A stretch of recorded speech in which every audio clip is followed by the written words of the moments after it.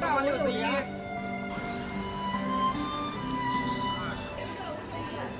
你在这里开多少年了？我在这里十五年了，开了三年了。我们在这开了差不多有有一年了。我们这里来全是老生意，都是十几年积累下来的。那附近的人会过来吧，但是不会说跑得特别远。在上班的时候下地铁都到这边买一点东西上班了。啊，上班的时候几乎是天天排队的。